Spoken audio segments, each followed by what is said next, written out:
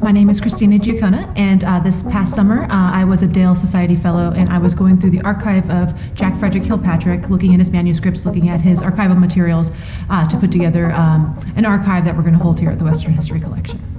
The librarian in the Fine Arts uh, Library, Matt Stock, um, found these 37 boxes of these materials that they weren't 100% sure what they were, um, and they were cleaning out the attic and kind of wanted to get rid of the boxes. And he gave me a phone call and said, Hey, do you know of this composer, Jack Kilpatrick? And I said, The name sounds familiar. I'm not sure why. Let's not throw them away just yet. Uh, and so uh, this was about a year ago. And then uh, after we're going through the boxes, we realized we actually had a gem.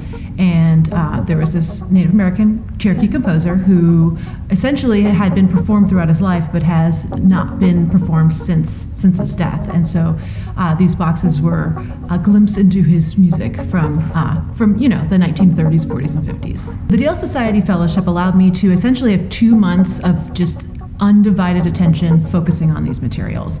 So the first part of the fellowship really was just going through the boxes and seeing what we actually had, and then from there coming up with a plan on how we were going to archive the materials. What I really enjoyed about this opportunity with the fellowship and working in the Western History Collection is the encouragement I had from everybody that worked here, and then the sheer number of pieces we found in the boxes. So uh, Kilpatrick wrote about 500 pieces, and he personally labeled the opus numbers. So he labeled 177 opus numbers, meaning that the pieces that he deemed worthy of completion and performance.